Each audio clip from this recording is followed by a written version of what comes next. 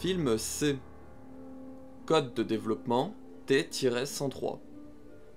Ce sujet possède d'étonnantes capacités régénératrices, provoquées par une accélération métabolique comparable à celle de la série 00.